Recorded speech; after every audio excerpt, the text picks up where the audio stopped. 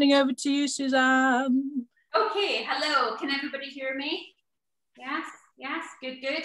Excellent. Um, okay, so yes, thank you very much for a lovely introduction. And um, I'm so pleased when Parent Space came and asked me to do this because um, if you're a parent, then I promise you batch cooking will revolutionize your life. And um, it's not about that old fashioned batch cooking as I'm going to go into in a minute. So um, just to let you know what I'm going to do, I'm not actually going to cook today because I have a ton of videos out there all about cooking and showing you every recipe under the sun.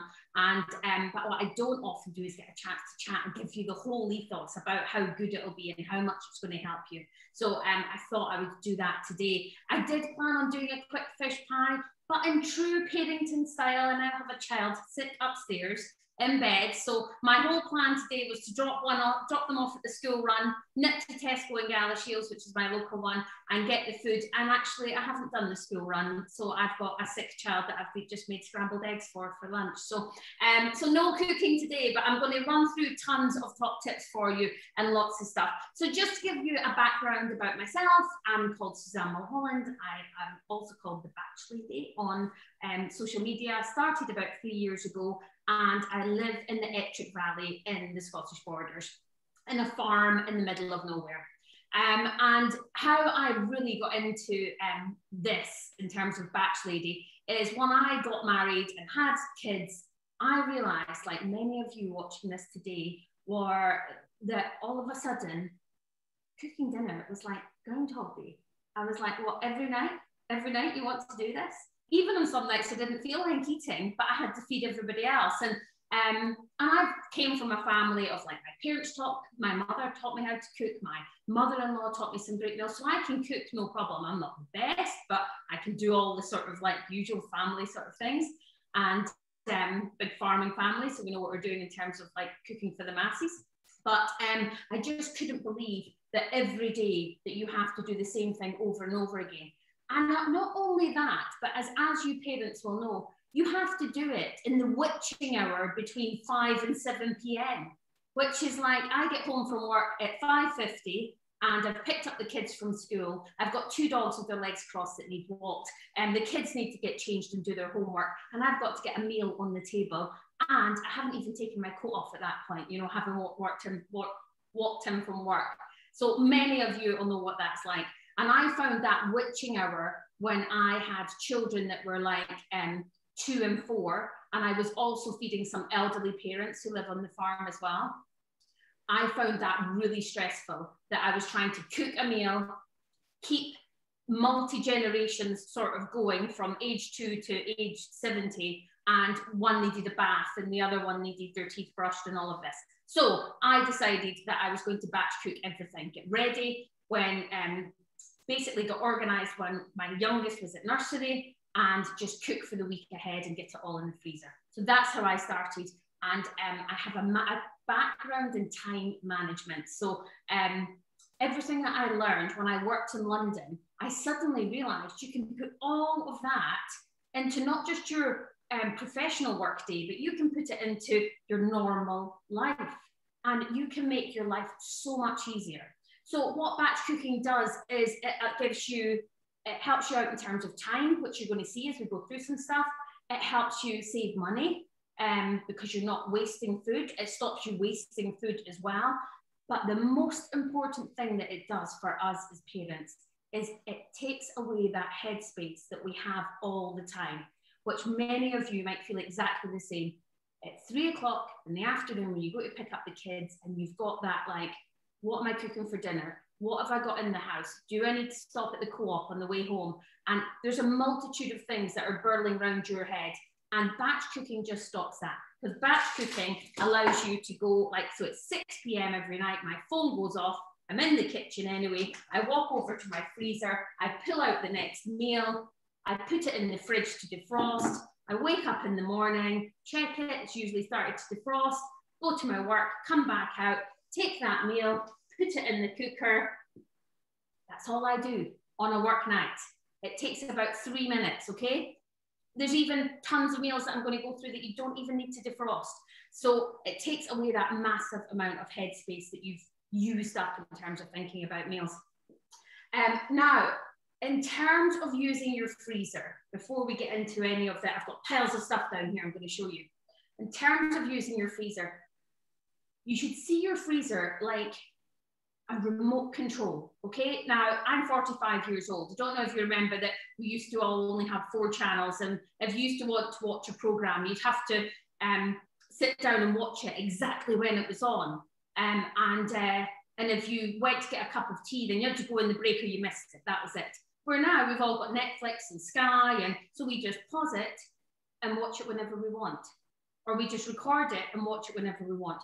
Your freezer does exactly the same as your Netflix or your Sky subscription.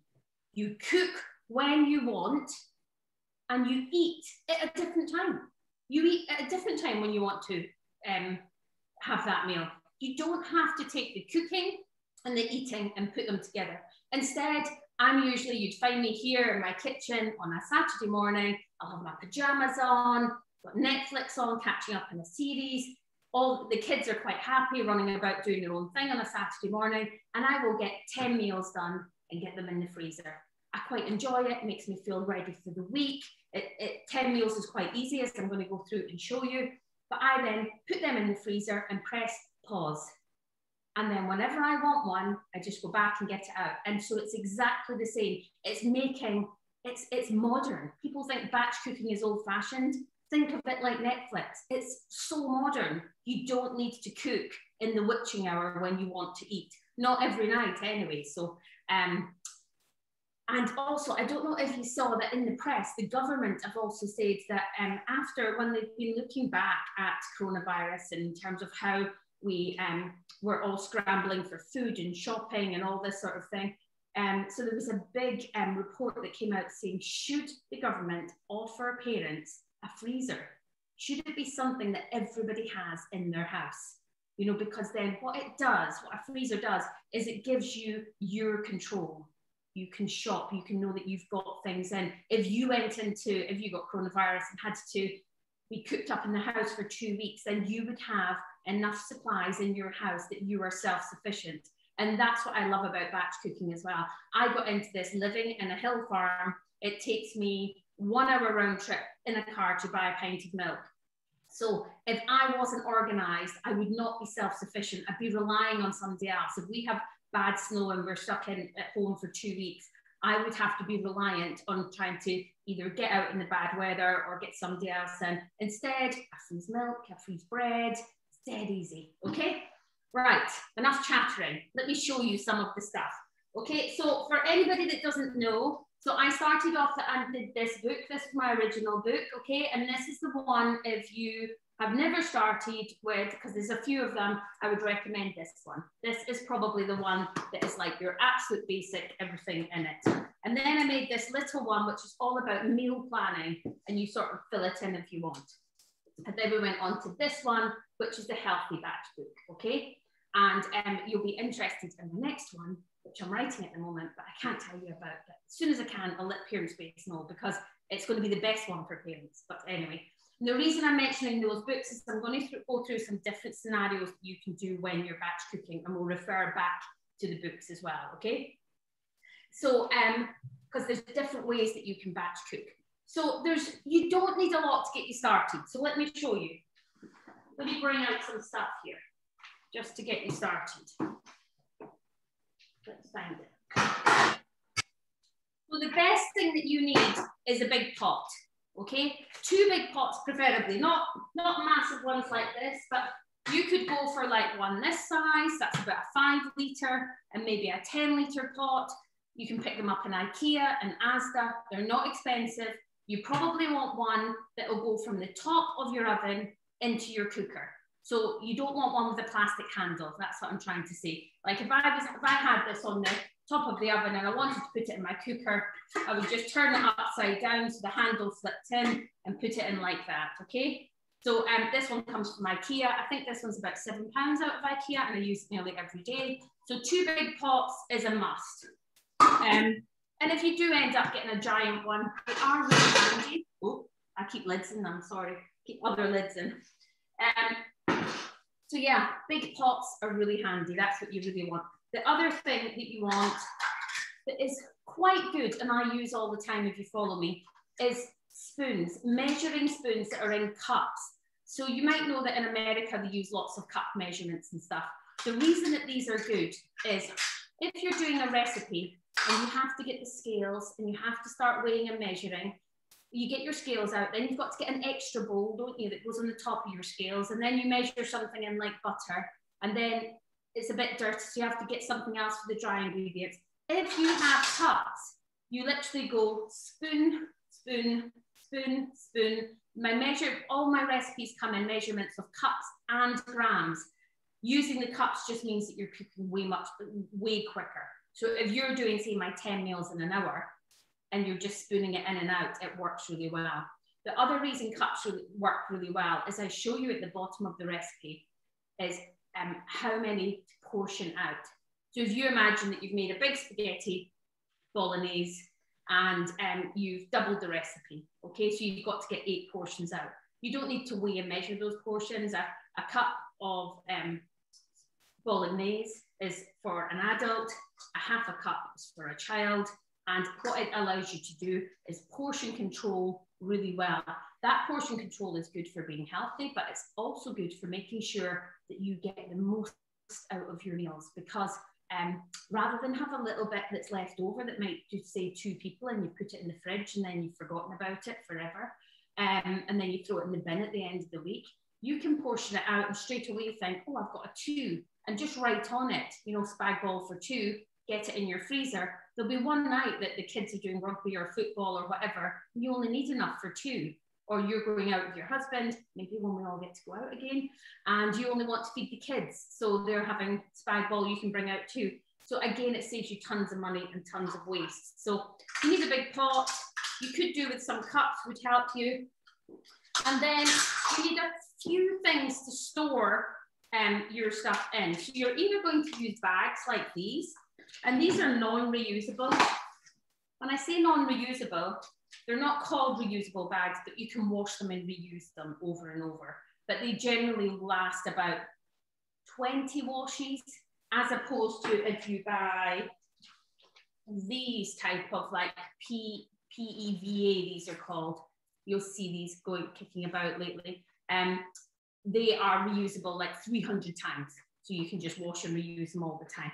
But these little ones, like say from IKEA, you know, you, could, you can still wash and reuse them, but they are going to eventually get a hole in them and sort of die.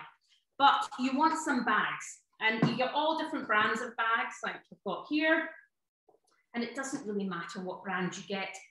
If these sort of big, thick Bacofoil bags are brilliant for anything that you think might leak because they are like indestructible and never leak, but again, the little IKEA bags work just as good. I love these. They come in all different sizes, so they are perfect as well, and they don't cost very much money. Um, your PEVA ones are a bit more expensive, but they last over and over again. Um, so I would still recommend them as well.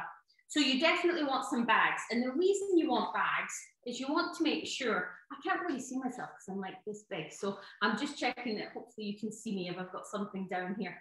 Um, bags mean that everything that you make is stackable like that, look. And that's what the batch lady is all about, is stacking it all up.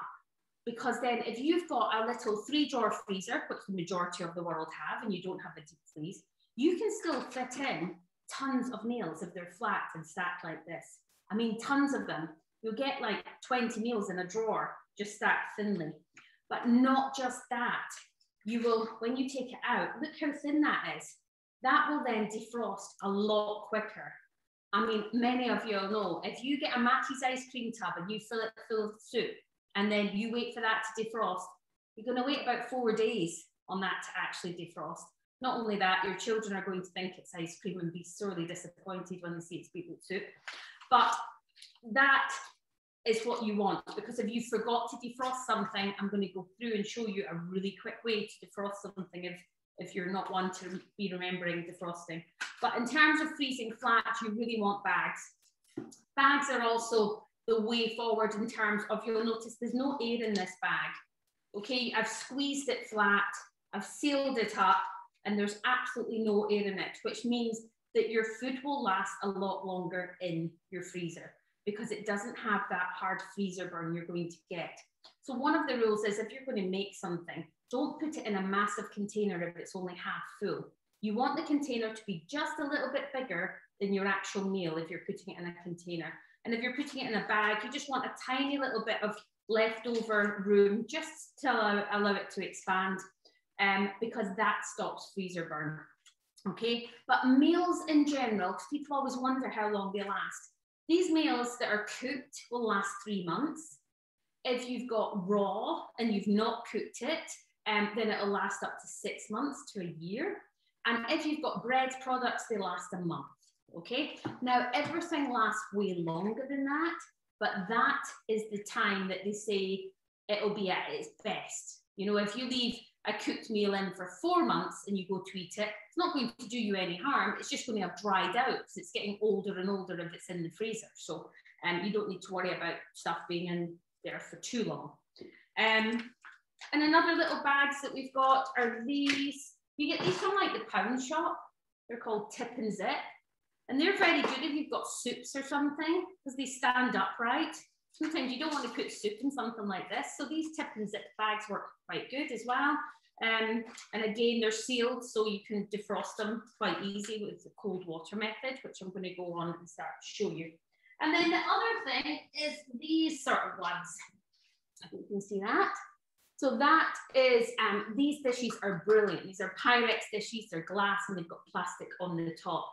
And these are how you would store things that you can't put in a bag, like your lasagnas, your moussaka, um, enchiladas, anything that you need to be layered up and left nice, maybe a cottage pie, something like that, then you want these. The good thing is about getting these Pyrex ones is when you want to use it, you can just take the lid off and put the thing in the oven take it back out, and it actually looks quite nice to serve in. So you're not having to scoop it between all different dishes if you want to serve it at the table.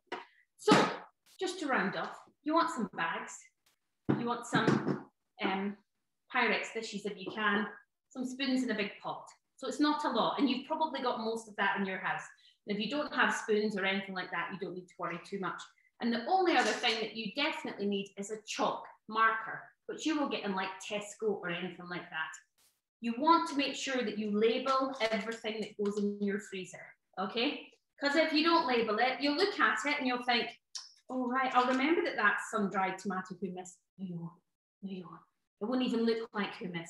You'll take it out and you'll be like, right, oh, we're going to give it a go. And we call that UFO, unidentified frozen object. You don't know what you're going to get. So make sure you write on your bags. If you write in your bags using a chalk marker, you let it dry for a couple of minutes, then you can put it in the freezer. And when you take it back out, when you wash that bag in warm soapy water, the chalk marker will wash back off. So you can keep writing over and over again on your same bags, okay? And I don't recommend using a biro on bags because you actually pierce the bag and sort of make a, make a hole in it, which you don't want to do. Right, so that is how you store your sort of stuff. Now I want to talk about how you actually batch, okay? So I don't know on here. I mean, put in the comments, maybe um, Geraldine can let me know, like, are you a batcher? Is this something you've done before? Or a lot of you starting from scratch? I'm just sort of telling you as if you're not done it before, but perhaps you have. Um, so how you want to start, if you've never done this before and you find it quite scary, is you want to double up. That's all you want to do.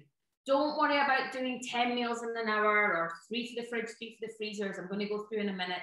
You just want to double up. So have a think, get a piece of paper and have a think about what your family like to eat on a normal week to week basis. Because I don't know if you know this, but as a nation, we eat about the same eight meals over and over again. So um, so you probably have the same sort of thing that you're used to. On Tuesday we have this, or Wednesday we have that.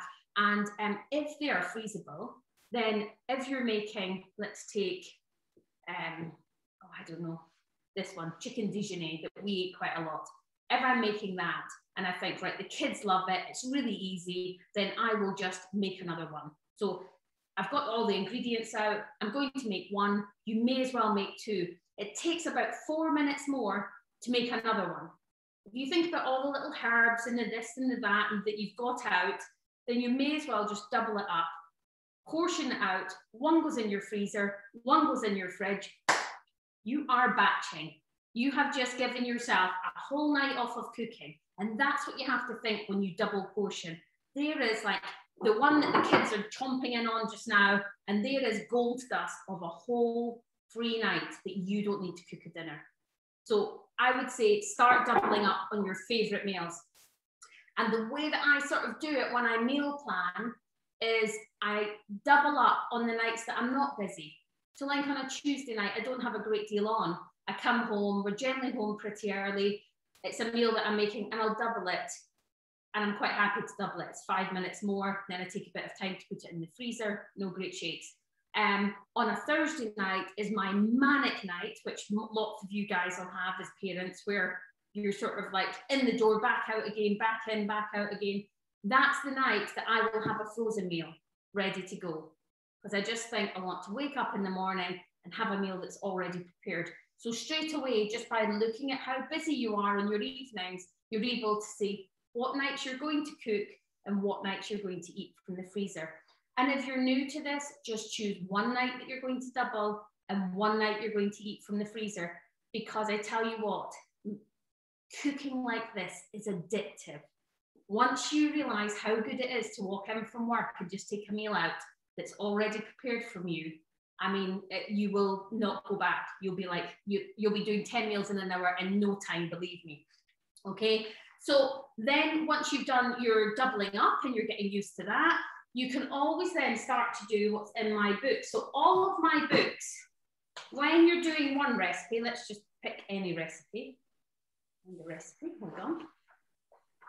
So when Suzanne, uh-huh. Suzanne, Debs has asked, do you double up in the same pot? Oh yes. Yep.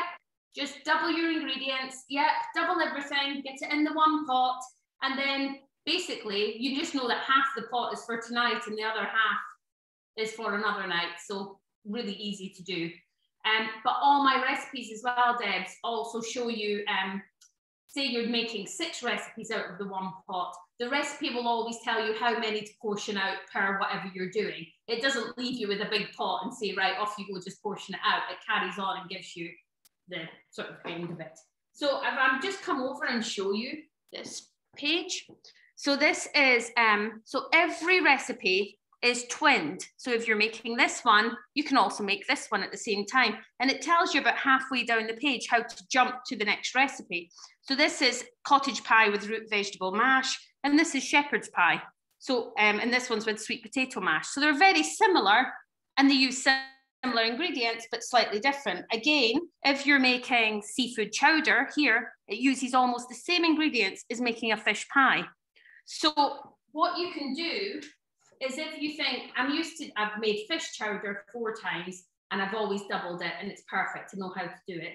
Think I'm going to make fish chowder and fish pie and I'm going to double both of them.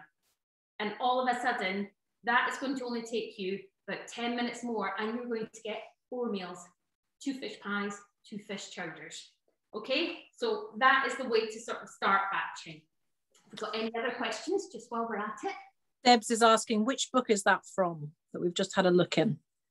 Uh, this is from my first book, which is called The Batch Lady Shop Once, Cook Once, Eat Well All Week. But all, but all my books are twinned recipes. So any book you buy has a twinned recipe as you go along. Okay?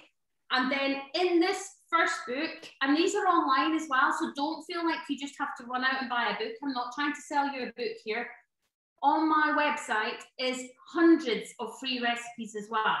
Okay, so but they're split into their single recipes. So this is if if you want, there's not, I don't keep them as doubles on there. And the recipes in the book are different than the ones on the website. Okay, so you're not going to see the same recipes, but there's plenty on the website. So if you're, you know, if you don't have a massive budget, don't go running out to buy a book. Check out my website first. It's all free and all my social media channels because I give tons of recipes free there as well. Um, so in this book, we then go on and look at 10 meals in an hour, which might sound like a lot. I'm just going to bring one up here for you, but it's so simple. I can now make 10 meals in an hour in 23 minutes. That's how long it takes. So I'll just, I'll just chat you through. So how 10 meals in an hour works. is you make five recipes using the same similar ingredients. Okay, so let's take the mincemeat one because we all, most people have mince. If you don't, if you're vegetarian, you could do it with Quorn mince, it would work the same. So I would get a big pot of mince going and I would put in it and I give you all the exactly how much to do and you can follow it along. And um, I would be cooking up some mince and onions that are going to make fajitas, spaghetti bolognese, and chili. That's in my pot, that's cooking away. Now I've got like 20 minutes to wait or 15 minutes to wait on all that mince browning. You can't really do anything. You're just standing about, sort of giving it a stir every now and again. So I'd come back over here and with some more raw mince, I would make burgers and I'd make meatballs and they go into the freezer raw. So you don't need to cook them. So lots of recipes that I do, it's not about putting it in the freezer once it's fully cooked and it coming out and tasting like leftovers. There's quite a lot of stuff that is just goes in raw that you don't need to cook. You're just preparing it. So burgers and meatballs, you can make you can make eight burgers in five minutes. It's only got three ingredients. I mean, it's as easy as pie. And then you've got four in one bag, four in the next. And then what I do is when I put them in the freezer, I just put some burger buns on the top, four burger buns in one of these bags.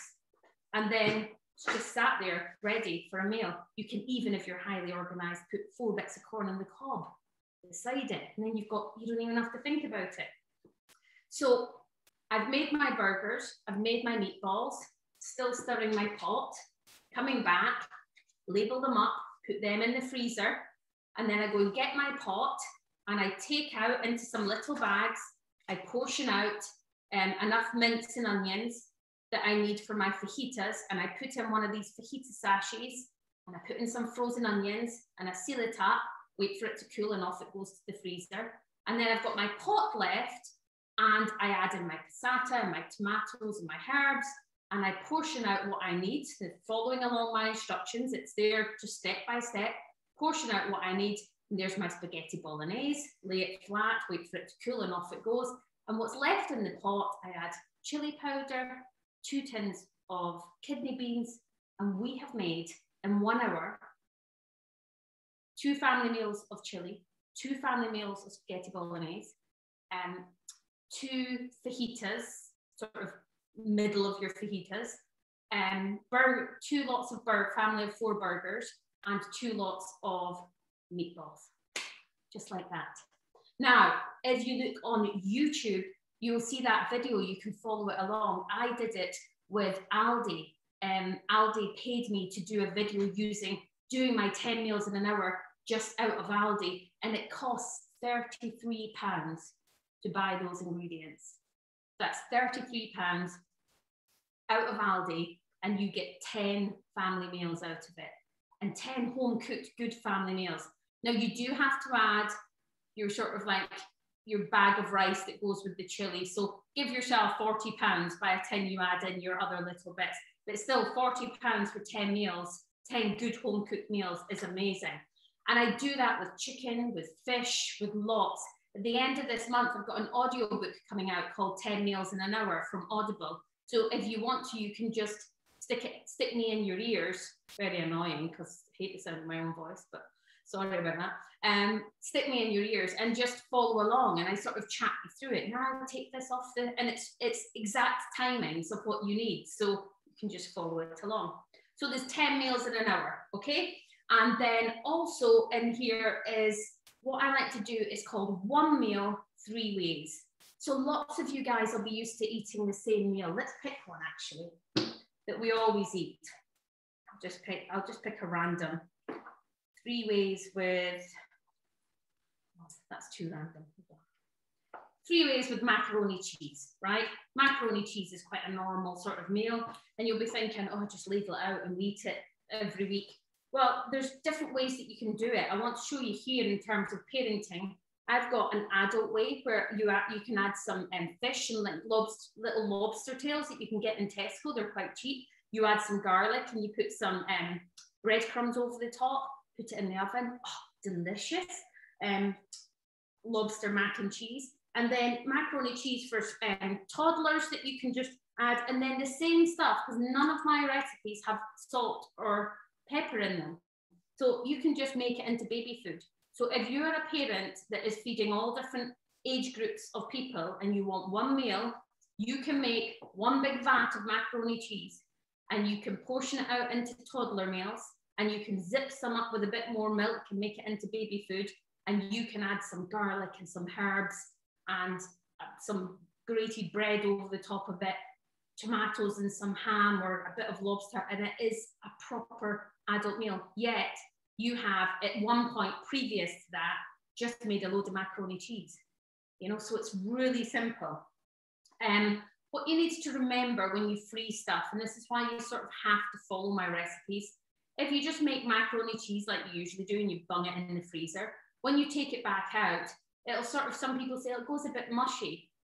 My recipes show you when if you're using if you're making it for the freezer you cook the pasta way less okay? So that's where you have to sort of follow the sort of um, the rules of freezing really. And the reason you cook the pasta sort of al dente is if you think about it when you bring it out the freezer you're going to have to heat it up till it's piping hot again so you're going to be cooking that pasta a bit more so if you've cooked it to full amount and then taken it out um, you're just going to cook it to mush and um, I'm going to give you another one with three ways. Here's another one with um, mozzarella and stuffed meatballs. So this is where I've made meatballs and just stuffed mozzarella in the top. We're doing spaghetti and meatballs. Another night I'll do um, meatball subs and put them on like a roll and make them very American. And then I'll do a meatball salad as well. So I wouldn't do that all in one night. I'd make a vat of meatballs put make three different ones, put them three of the same, put them in the freezer. But when I write on them, I'll write on exactly what to do. This one's with subs and some chips. This one's with um, spaghetti. This one's over a salad. And all of a sudden, your family think you're creating all different meals, but you're actually using the one core meal. Yes. Another question from Debs. Um, she's wondering if your latest book is best for families or are they all good uh, for families? it's all family cooking. So this one, the latest one is called Healthy Family Favorites. So this one is calorie controlled and is very healthy. This one is just traditional, normal meals. So they're everything I do is about feeding the family. So they're all good for the family. Um, so either one, it doesn't really matter. This one's more low calorie, but not for the kit. Like what I'll show you, what it does in here I'll show you this one is quite good actually. So um, when I give you a recipe, down the bottom of this recipe in this healthy book, so I made, do you know, do you know why I made this? I made this because I'm a mum and I do, I've got a teenage son who's 14 who eats me out of house and home. And my husband is six foot three and can also eat a lot of food. And then I find that I don't always want to eat the same as what they're eating because I'm a 45 year old menopausal woman and I'm just going like this. So I always often, what I don't want to do is cook a different meal for me. I want us all to eat as a family. So these meals allow you to cook the meal, put it in your freezer, and then when you come out, bring it out, it says to serve the lighter serving. So this is taco boats, is sprinkle with low fat pre-grated cheese and have it with a large salad. And the family serve is topped with grated cheese, sour cream, crumbled tortilla chips, I give you like the make it a family one and make it your local one for every recipe. So you can decide you're all still eating as a family. Nobody would even notice that you weren't having the cheesy naturals on the side. You're having a big salad and a bit of everything, but it's lower calories. So that's this recipe book is a bit more about eating a bit healthier than this one, which is just your traditional meals. So that's how it works. Did I answer that question? Okay, Deb. What else have I not told you? One more question. Uh, Debs is asking if that's out now. That book, that that your latest book, is that one out now? Yes, they're all out. Yep, they're all out just now. You can have them all. Do look um, on my when I do Instagram. I quite often put on um, my stories. I'll quite often put on on Amazon if there's any special deals. So, for instance, these are like twenty pounds each. Um, but do look on Amazon because I think at the moment they're like twelve. So there's always good deals. So definitely look day to day on what's going on. And they are in all supermarkets as well. So all my books sell in every supermarket, Waitrose to Asda. In fact, I am not sure. Yeah, it does, Asda. Um, and they're usually like 10, 12 pounds. You're usually not having to pay the full price. So do look at that as well. I shouldn't be telling you that. My publishers would kill me. They're like, the full price. Um, right. And one more. When is the new book coming out, please? So these ones are all out. Yeah. my new one is coming out next September.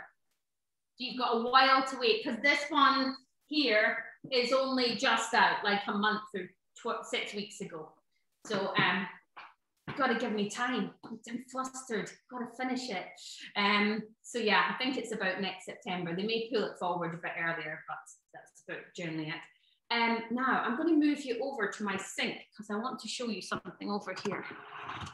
See, if you can see my sink from there. Get you down a bit. Can you see that? Okay, I'm going to bend down. Okay, so I just want to explain about if you forget to defrost meals, because a lot of people do. So if you get into this batch cooking and you decide to give it a go, what I would say to you is think about a time that you're in your kitchen every night um, and set an alarm on your phone and take out the meal the night before. And that sounds like I'm never going to remember what how to do that. But if you put a permanent alarm on your phone, whether you want a meal out or not, at six o'clock, if you're not taking a meal out, it goes off to switch it off. But it just allows you that time to really sort of remember, am I taking a meal out or not? Um, if you forget to take a meal out, do not worry. A lot of them can be, let me just grab it again. This book here has a page in the front and it gives you a big list of all the dishes, all the meals in the book that can be cooked from frozen. So if you think you're going to forget to defrost stuff, they would be, that list would be a good starting list for you to, to batch these meals and get them in the freezer because they can all be cooked from frozen. So, um, you know, if you want to, if you know you've got a night where you're running in, you've got 10 minutes, you want to bung something in the oven that's going to take an hour because you're going out to football and you want to eat when you get back, then they're the exact meals that you sort of want, okay? But if you completely forget, you can defrost other ways. You can defrost in your microwave.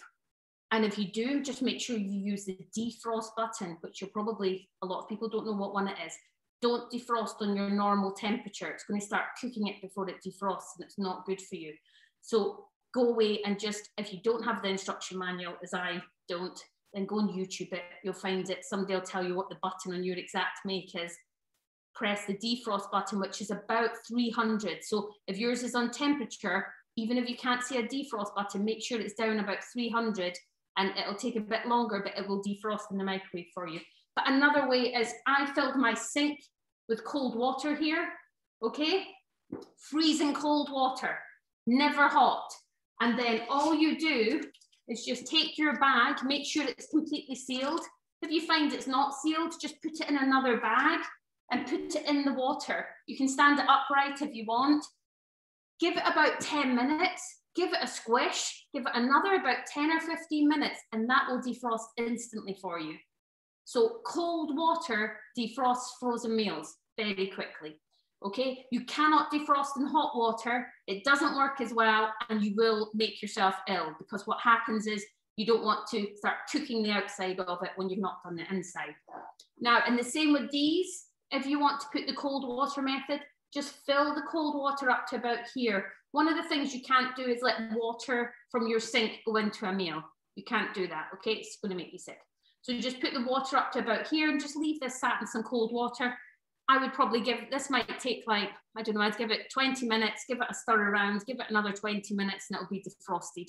So um, cold water defrosting works amazingly well. That's why I brought you over here. I was going to put it in, but the water is gone. Let me bring you back round check you can see me there. Um, did I have anything else for you? I feel I'm sorry if I just have just chatted. It's quarter two.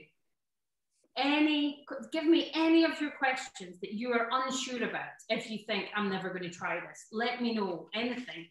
I've got a couple of things just here, Suzanne, uh, that's come up in the chat. And then maybe if anybody wants to just um, ask a question, feel free to speak yourself. Uh, Gemma just said during the, whoops. I got your first, I got your book last year and it saved my life during the first lockdown. We saved so much time and money. Plus, it saved my sanity with my children having meals ready. Thank you so much and lots of kisses. And Carol has said, can you freeze lasagna in a dish and use cling film or foil, or do you need a dish with a sealed lid? Ah, now that's a good one. Um, you can use cling film and foil, but if you are, I would say foil is the best. Cling film tends to uncling in the freezer quite often, and really you don't want to waste that dish. So you want to make sure that it's completely sealed. So no matter what you use, just make sure that it's airtight. So if I was say didn't have a lid on this and I was using cling film, fact, what I do you know what I'd generally do? I'd put a bit of foil over the top and then I'd cling film it like that. You know, not just like sticking it round the top. I'd actually cling film it round and then seal it down so that I just knew it was completely sealed. The, the main thing I think is the more you seal it, the longer it's going to last. Righto, and the next one, uh, Lindsay has asked, which book would you recommend for vegetarian recipes or are most meat and fish? She says um, her family is a mix of veggie and not. Ah, then, is it Lindsay, did you say? Yeah. Lindsay, I'm going to recommend for you this healthy family favorites because out of the 100 recipes, I think 77 are vegetarian, and ones that aren't, or not that they're, they're not all, how will I describe it? They can be vegetarian. Does that make sense? Um, the ones, the 33 that are left are just meat. But what I do do is, let me find one. I do this thing here. So this is, oh, I've turned on to tur turkey taco boats again. Make it veggie, okay? So I give you a make it veggie symbol, and this one says, for a veggie twist on the dish, swap the turkey mince for fresh or frozen plant-based mince. I'm not allowed to say Quorn, but that's what it basically means. taco filling in the same way. Um, remember, plant-based mince tends to cook quicker than meat, so just adjust the cooking time as per your packet instructions. So as you know, Quorn only takes like five or 10 minutes to cook, but if you were cooking chicken, it's going to take longer. So these little make it veggie will really help you out, Lindsay. That's the one for you, I would say. Perfect. Lindsay says, thank you very much. Uh, Shelley, just a quick comment saying your second book is on my wish list. And Alison has asked, any, any tips for small freezers? Ah, yes, I can give you lots for small freezers. I would say freeze flat, as I've mentioned before. The other thing that I, I would say is look for my, in this book, is three for the fridge and three for the freezer. And online, I've got some three for the fridge, three for the freezer recipes. They're a bit like 10 meals in an hour, but for small freezers. And if you, I write for the sun. Now, please don't comment. Lots of people hate it, but I write for the Sun every week. I believe everybody should be allowed to have recipes, no matter whether you read the Times or read the Sun. And coming out in their Sunday Fabulous magazine in a few weeks, I'm doing lots of three for the fridge, three for the freezer in their magazine. And it's going to be free if you buy the newspaper that's the little magazine that goes in it.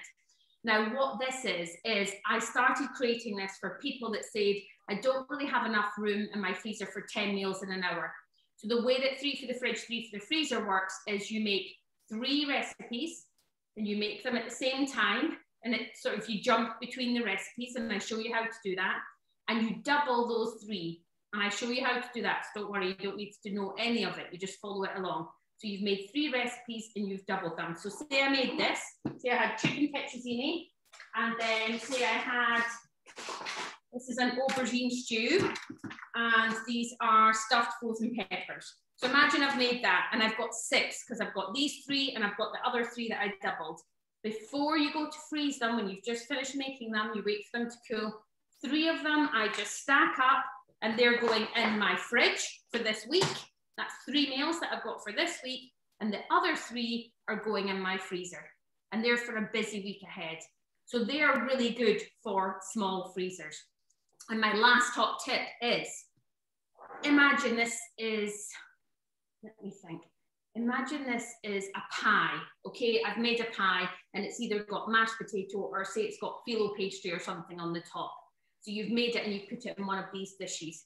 what you can do, say the chicken pie. Let's use that for example. You'd think a chicken pie had to be frozen like that. I would freeze a chicken pie with the chicken pie filling like this and the roll of ready bought puff pastry beside it. Because the difference of how much it takes up in your freezer is huge. And then when you take it out, frost it, pour it into your pie dish, roll your pastry over the top, and that's all you're doing then. You're just assembling it when it comes out the freezer. So any big pies of that, freeze them separately. Brilliant. So first of all, uh, just a wee comment from Gemma. She has to go and do the school run, but thank you so much. She's really enjoyed listening. Uh, Batch has changed her life. I hate cooking meals for my family, but love pulling a meal from the freezer for them it gives me more time to enjoy a gin and tonic. I am with you on that. um, Shelley is asking, once defrosted, do you have to use the meals that day? She said, I'm bad for not fancying what I've taken out by the time tea come tea time comes. You don't have to use it that day, but you do have to use it within, they say 24 to 48 hours, you have to use it in between. So um, you don't have too long. So my tip for you is to only take out one meal at a time. Um, and um, and also remember, if you take it out and you don't really fancy it, as long as you're not cooked it, it'll last till the next game night. If you don't fancy it the next game night, try to make it into something a bit different. So if I've taken out chili and I think actually I don't really want to have that, I just don't fancy it at all, I might actually serve it over nachos and put some cheese and jalapenos and just try to make it a slightly different dish. So try to have a think about things like that. But yeah, you've got 48 hours. And the main thing to remember with stuff is when you take it out, once you've cooked it, that means that you've cooked it twice. So if you take out, if you decide to freeze it and you freeze a massive amount, you take it out and you cook it, you can't reheat it again. So just freeze in portions that you know you're going to eat. If you're a family of four, make them a family of four. If you're a two, make them a two. If you think you all eat at different times, you might want different stuff, portion them all into twos.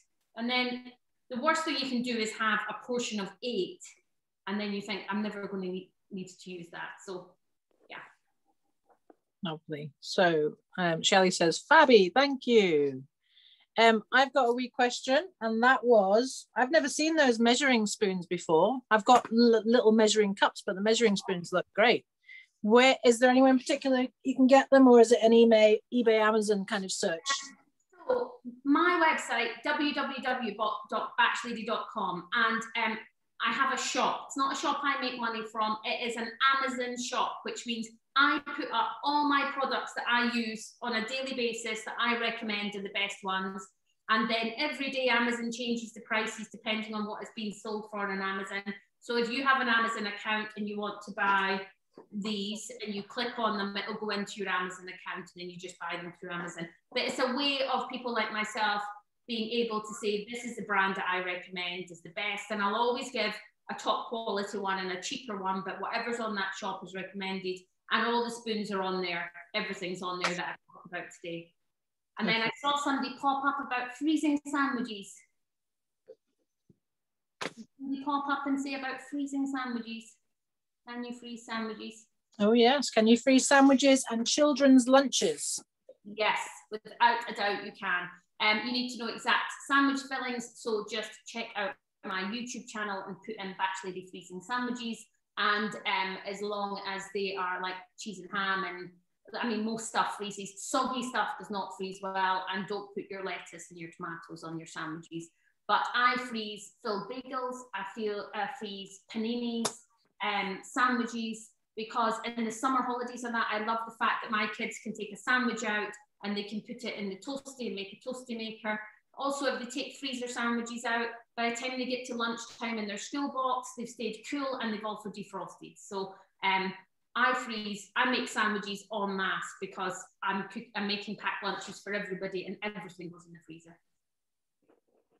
Brilliant. So Sarah says, great, thanks. Um, was there something about a signed book, Suzanne? Yes, I'm going to give you a copy of my first book. I'm going to sign it and put whoever wins this. but I don't know how you're going to do that. I'm going to let I'm going to put all the pressure on Parent Space since I've done all the chatting. Parent Space will come up with a way of giving, I don't know, choosing someone, doing a competition. I don't know what you want to do, and I will um, give you a signed copy of this book and wing it in the post to you. Fantastic, thank you. How long have you been batching? Is my question. Um, so I've been doing the batch lady for three years now, but I've been batching since my child, my first child was born, and he's going to be 15 this week. So 15 years I've been doing this. Um, yeah, but three years. Basically, someone at the school gates finally said to me, "Well, you just show us how you do batch cooking." And so, um, 20, and my one of my friends had cancer at the time, and she was raising money for cancer research. And I said, "Why don't you all pay X amount? Come to my house. We'll put all the money to cancer research, and I'll show you how I do it." And um, somebody recorded it and said, "Let's put it on YouTube. It's going to be life changing." And here we are, three years later. Fantastic. So Ali says, she's the administrator at Parent Space, names in a hat, and we can contact whoever wins. Okay, so from everyone who came along today, names in a hat in order to win that book.